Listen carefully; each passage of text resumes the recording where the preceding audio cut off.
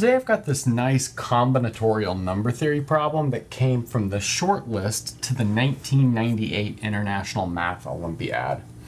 So the statement goes like this.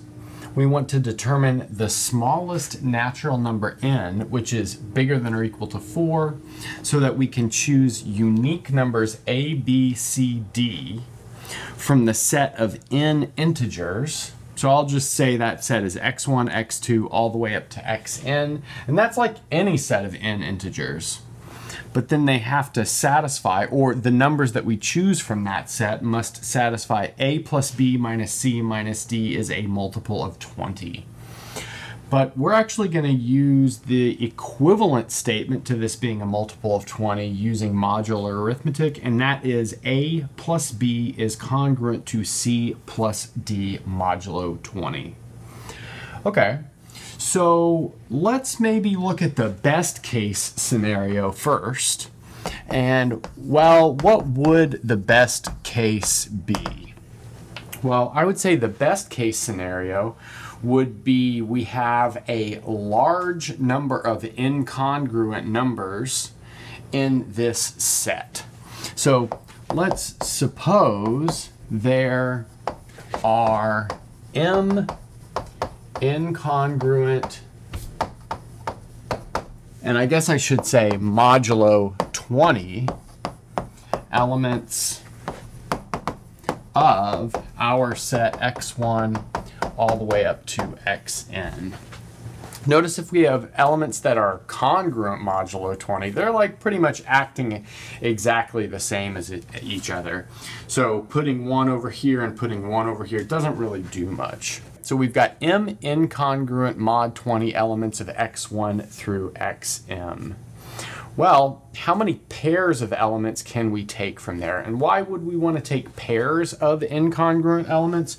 Well, that's because we've got a pair of two of these numbers over here and another pair over here. So let's maybe look at that question. So how many pairs what I mean by pairs, again, pairs of the incongruent mod 20 elements. So that's just m choose 2, right? So that's going to be m choose 2, which is equal to m times m minus 1 over 2 total pairs. So using the fact that there are 20 residue classes mod 20, we need this number to be bigger than 20 in order to guarantee that two of the sums have the same value. In other words, they lie in the same equivalence class. So when does that happen? Well, let's just multiply this out. We need m squared minus m to be bigger than 40. That's just by multiplying that 2 over there. But that means we need m squared minus m minus 40 to be bigger than 0. But then just by like some elementary algebra, we can see that this occurs if m is bigger than or equal to 7. So in other words, if our set has 7 incongruent elements mod 20, then we can immediately find four of them that satisfy this rule down here. So what does that tell us? That means that n, that tells us that n cannot equal 4, 5, or 6.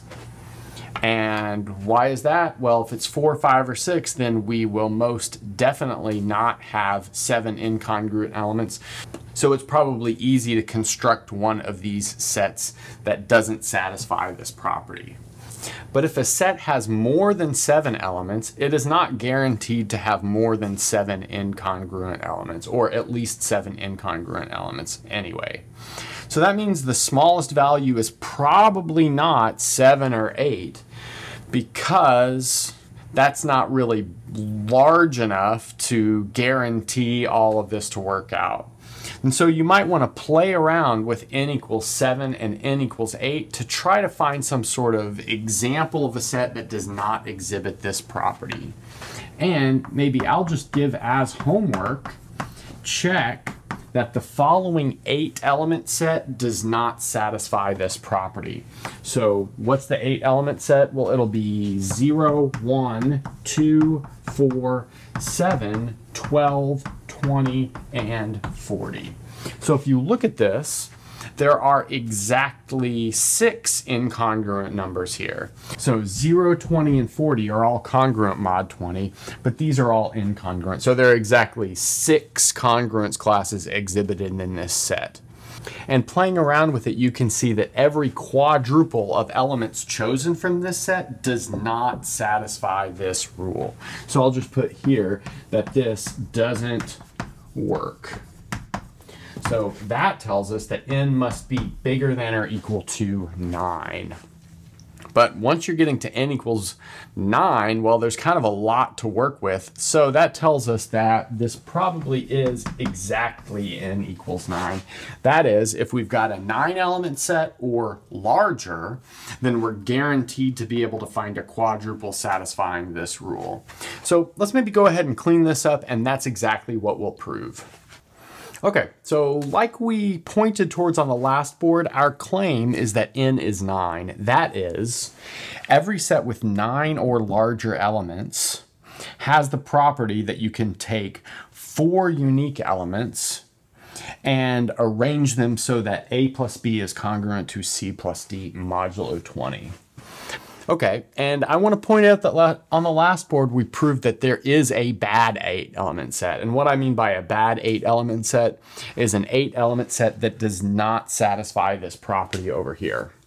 Okay, so let's maybe go ahead and consider an arbitrary nine element set. We'll call it X1, X2, all the way up to X8 and X9.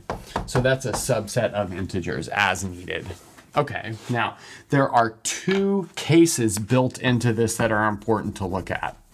The first case is, well, maybe I'll call this A. So A has seven incongruent elements.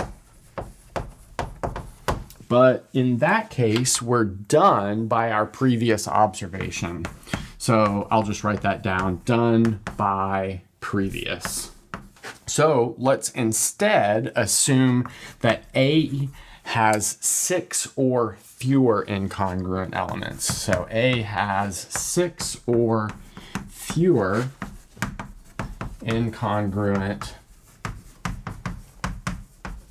elements. So let's list them in the following order. Let's say x1, x2, all the way up to x6 are possibly incongruent. They're not definitely incongruent, but they're possibly incongruent. And then the last three, so that would be x7, x8, and x9, are the ones that are congruent to earlier in the list. So Let's write that. So congruent modulo 20 to one of these over here. Now let's break this down into two cases. So let's say case number one is x7, x8, and x9 are all incongruent. Okay, so that's most definitely one possibility then in that case, I'll just introduce some new notation. I'll call x7y, I'll call x7x, x8y, but that means that there's an x1 through x6 that is congruent to x. Again, because of the, our observation over here. And there's an x1 through x6 which is congruent to y.